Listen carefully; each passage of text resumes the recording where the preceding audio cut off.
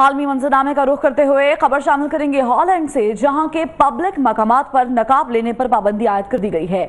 एवाने वाला ने पाबंदी का बिल भी मंजूर कर लिया है। नई कानून साजी के तहत पब्लिक ट्रांसपोर्टर्स, तालीमी इदारे, सेहत के इदारे और अस्पतालों में नकाब लेने पर पाबंदी होगी। बिल की मंजूरी पर दाएँ बाएँ के इंतहा पसंद रहनुमा गैरेट वर्ल्डर्स ने कहा है कि ये हॉलैंड में डी इस्लामाइजेशन की जानब पहला कदम है।